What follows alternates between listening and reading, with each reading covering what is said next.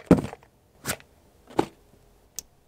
what is up my friends, welcome back to your average gentleman, it is your boy Evan. In today's video, I'm gonna be reviewing some of the accessories from Clocks and Colours. This is not a sponsored video, they reached out to me about a month ago and they asked me to pick out some of the accessories to check them out. I thought that their design looked pretty dope so I picked up two of them. They did send them to me for free but since this is not a sponsored video, I am also free to say whatever I want. And for this video, I am gonna be judging these accessories based on their aesthetics, their durability, and their affordability. Make sure to stick all the way till the end because I will also be giving you my top 3 tips to choosing and wearing the right accessory for you. So without further ado, Let's begin. As you can see from the intro, the box, it is just a black box with the logo on it. Nothing particularly special about it. But they come in this kind of a customized Ziploc bag, which is uh, pretty cool. Anyway, box is not important. First up, let's get into its aesthetics, or rather, its workmanship. A little background, they are designed in Toronto, Canada and they are handmade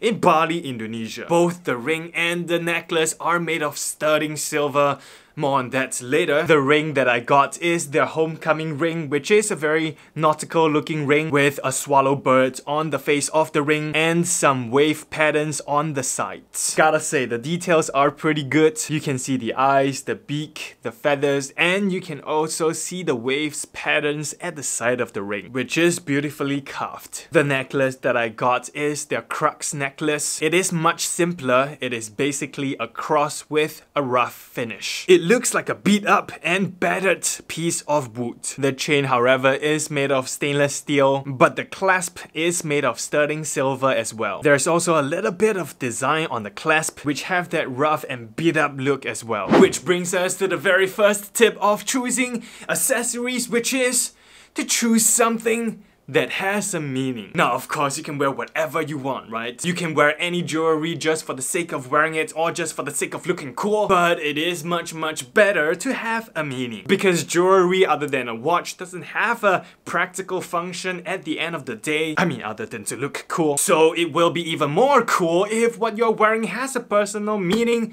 to yourself. Which can also be a great conversation starter when people ask you about it or compliment you about it. For example, I believe in Jesus, that is why I chose this cross. And I also like the fact that this cross, it doesn't look all smooth and glossy. It looks scarred and battered. Which reminds me, ultimately, a cross, it is a sign of suffering, right? The suffering that Jesus bore for us for our sins. And as for the ring, I really love and believe in what the swallow bird represents. The swallow represents love, care, and affection towards family and friends, showing the loyalty of the person always always returning to their home and their loved ones. The swallow also represents everlasting love and loyalty and fidelity to their partner. They will choose a mate for life and they will only nest with their mate and no other birds. See, these are the kind of conversation topics that I can talk about when people ask me about my necklace or my ring. So I'm actually pretty excited to get these because these have personal meaning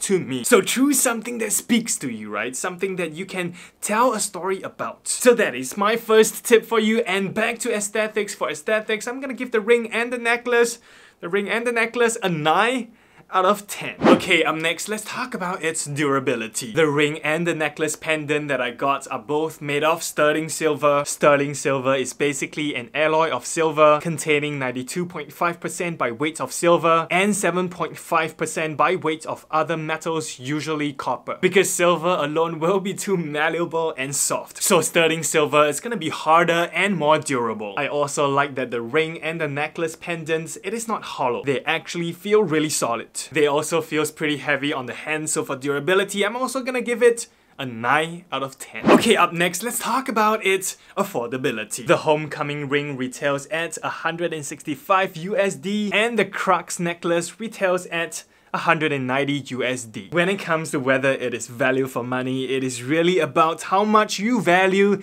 its workmanship. Because silver, it is really not that expensive. It is about USD 81 cents per gram. This ring is 13 grams in sterling silver, which is around USD $9.75 in cost price. The necklace pendant is 18 grams in sterling silver, which is around USD $13.50 in cost price. Which brings us to the second tip to choosing the right accessory for you, and that is to experiment small. If you have never worn a ring before, you're just getting into rings, you just wanna experiment, then I would definitely go cheap. Like super cheap steel rings which you can easily find on Amazon or any online platform for like less than 10 bucks. For example, this super cheap steel ring that I got online which literally cost me like 6 bucks. Although it may not have any meaning, but you're experimenting, right? You're finding out what works. Also, get to know your ring size, right? What ring size do you wear on each finger? Which is very easy to measure by the way. Just take a piece of thread or a strip of paper and wrap around your finger and mark out the circumference of your finger on the piece of string or the piece of paper. And then you just measure the strip of paper. Anyways, if you already know what you want and you're looking for something to be your signature jewelry, something that you're gonna be proud to wear for the rest of your life, then definitely consider something that has a higher quality and a better workmanship. So anyways, back to its affordability at 165 USD and 190 USD. They are definitely not cheap, but it is also not like super overpriced considering its workmanship and its details. So for its affordability, I'm gonna give it a 6 out of 10. And overall, I'm gonna be giving it an 8 out of 10. Pretty good, not bad at all. Okay, last but not least, let's talk about the third tip to wearing your accessories. And that is, don't overdo it. I know you often see on advertisements or celebrities wearing like three or four rings on each hand and it looks super cool, right? No doubt about it. But they are already cool. They can pull it off. But for the most of us, we can easily look like we are trying too hard. It is definitely gonna capture a lot of attention unless that is what you're looking for. So for me personally, I would only wear one or at most two rings on each hand and maybe a simple necklace. When it comes to accessories, less is more. But at the end of the day, you do you, man. There is no right or wrong when it comes to how many accessories you can wear. If you love it, go for it. And that is it for today's video. Let me know down in the comments below what do you think of these accessories and what kind of accessories you love the most. And make sure to smash that thumbs up button to let me know, yo Evan, I like this review man. Click onto the subscribe button below and turn on the notification bell if you haven't done so already. Have a great day y'all and I'll see every single one of you in my next video. Bam!